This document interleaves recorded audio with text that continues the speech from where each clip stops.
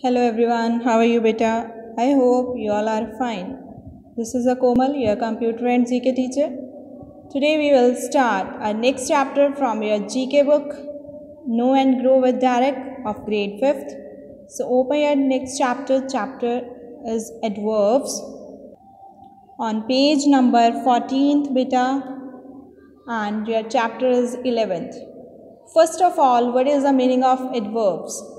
Adverbs होते क्या हैं? It is a word that modifies a verb or even a whole sentence adverb क्या है? Are words that modify or change same thing modify means होता है change करना और qualify the meaning of other words so tick the correct adverb from these sentences first is the teacher said Rahul you are dash right teacher ने कहा Rahul you are absolutely right so first answer is B second the sun shone brightly after a day of heavy rain जब ज़्यादा वर्षा होती है, ज़्यादा rain होती है, उसके बाद जो सन शोन धूप तेज़, देखा है ना आपने, तीखी धूप होती है brightly third is the student thought deeply before giving an कोई भी आंसर देने से पहले, चाहे स्टूडेंट है या कोई पर्सन है इज़ थॉट डीपली गहराई से सोचता है।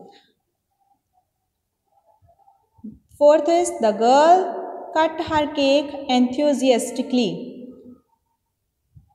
Answer is B. Fifth is Pooja, Pooja folded her clothes neatly before packing her bags. और बैग पूजा कहते हैं अपना बैग पैक करने से पहले अपने जो क्लॉथ्स हैं साफ़ सुथरे फोल्ड करती है neat and neatly the captain lifted the trophy proudly lift होता है जैसे देखा ना आपने ट्रॉफी को हवा में शो करते हैं प्राउडली प्राउड से उसने उस ट्रॉफी को शो किया। The president greeted the guest warmly president ने गेस्ट को ग्रीट किया रिसीव किया is a warmly C last is the athlete was breathing heavily after the completion of the race जो कहते हैं एथलीट्स होते हैं रेस के बाद सांस हाफने लग जाते हैं हैविली उन ज़ोर ज़ोर से सांस लेते हैं। Okay? So i hope you understood the adverbs.